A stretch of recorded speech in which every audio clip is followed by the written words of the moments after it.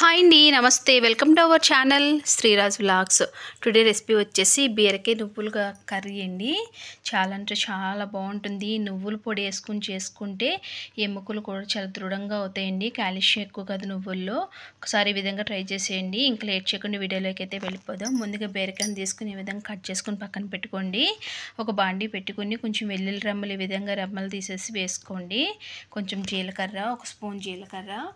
ఎండుమిర్చు మన స్పైసీ తగ్గట్లు వేసుకోవచ్చండి. తర్వాత కొంచెం నువ్వులు వేసుకుని ఈ విధంగా మొత్తం అన్నీ దోరగా వేయించుకోవాలండి. ఈ నువ్వులు అనేది చాలా బలం అండి. పిల్లలకి పెట్టినా మనం తిన్నా ఎవరికైనా సరే చాలా బలం కాబట్టి ఈ విధంగా మనం ప్రతి కర్రీలో నువ్వులు అనేది యాడ్ చేస్తే చాలా బాగుంటుందండి హెల్త్కి కూడా. ఈ విధంగా వేయించుకొని ఒక ప్లేట్లో తీసుకుని చల్లారి పెట్టుకుని ఇప్పుడు మిక్సీలోకి అది వేసుకుని పొడి చేసుకుని పక్కన పెట్టుకోండి. ఈ పొడి అనేది వేయడం వల్ల కూర అనేది చాలా రుచి కూడా వస్తుందండి. నువ్వులు అనేది మనం పొడి చేసుకుని పెట్టుకుని అప్పుడప్పుడు కూరల్లో ఇలా వేసుకుంటుంటే చాలా బాగుంటుందండి. తర్వాత ఇప్పుడు ఆయిల్ ఆయిల్ ప్లేస్లో నేను బటర్ వేస్తున్నానండి. ఒక స్పూన్ ఆవాలు ఒక స్పూన్ జీలకర్ర ఒక స్పూన్ మినపప్పు ఒక స్పూన్ శనగపప్పు కొంచెం కరివేపాకు వేసుకుని బాగా వేయించుకోవాలి. ఇవి బాగా వేగిపోయిన తర్వాత ఇప్పుడు బీరకాయ ముక్కలు అయితే యాడ్ చేసుకుందామండి.